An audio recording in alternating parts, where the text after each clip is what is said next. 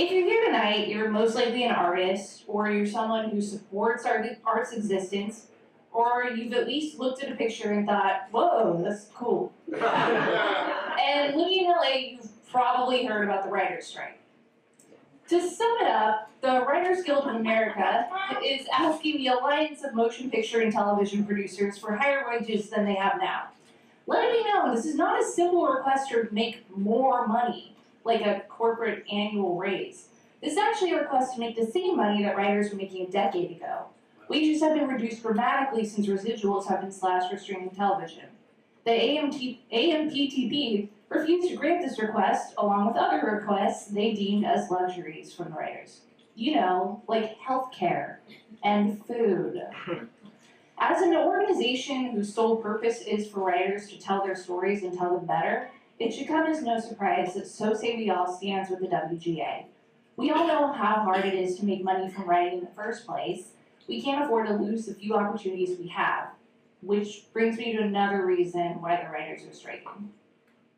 The AMPTP mm-hmm.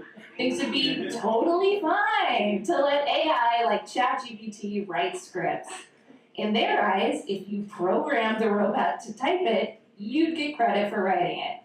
Writers, on the other hand, like writing and having original thoughts, I guess. So they're not into this. Honestly, at first, I was like, AI writing for me could be cool. After all, I'm lazy. It'd be nice to phone it in once in a while with a robot script. I also thought about all the movies I've watched that had real human writers and wondered how badly AI could really do. I tested it out by how by telling ChatGPT to write a stand-up joke for a woman. ChatGPT gave me this joke, which I'll perform for you now. Hey everyone! So I recently went out on a first date, and you know how awkward those can be. But this one was next level awkward. We were sitting at a fancy restaurant trying to make small talk, and suddenly asked me, So, what's your five year plan? I mean, seriously? I barely know what I'm having for dinner tonight. And you want me to predict my future?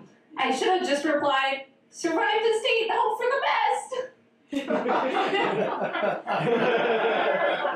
The next part is an actual note at the end of the joke from ChatGPT. Note: stand-up comedy can be subjective and audience dependent.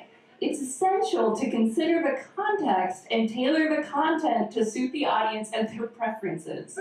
I feel like this is ChatGPT admitting that its jokes are gonna bomb every time, and it's up to the person telling them to be or telling the joke to be funny.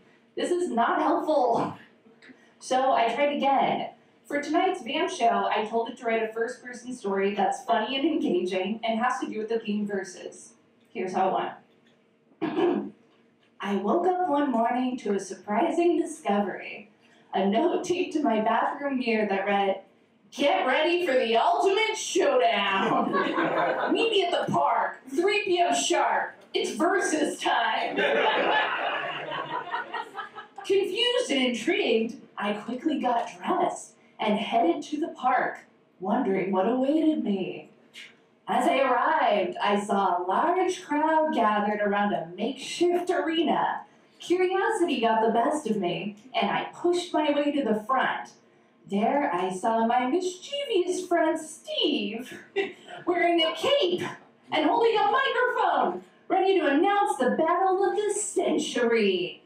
Ladies and gentlemen, he boomed, welcome to the epic showdown of cats versus dogs. cats versus dogs. I couldn't help but burst into laughter. Really quick, I just want to say I'm not confident that ChatGPT knows what laughter is or what humor is at this point. This story was very long, so I'm going to save you time and just skip to the end. As I walked away from the park, still chuckling to myself, I realized that the true victor- victory was not in the competition, but in the laughter and joy it brought. The rivalry, rivalry between cats and dogs would always persist, but the laughter and camaraderie we shared that day transcended it. Riveting stuff. As a writer myself, I've found that writers are some of the only people not benefiting from ChatGPT. ChatGPT is like having an emotionally devoid intern who only got the position because their uncle runs the company. Everything I've tried to have ChatGPT write for me is the blandest, most most milquetoast material I've ever had the displeasure of reading. And then I end up editing, adding in actual creativity and humor. So I actually would have been easier just to start from this from the beginning and do it myself. Which is why it's so important to support the writers in your community. If you'd like to support So Say We All, follow us on Facebook and Instagram at So Say We All Online, and go to our website to learn more about how you can get involved, or you can at the very least buy us a drink.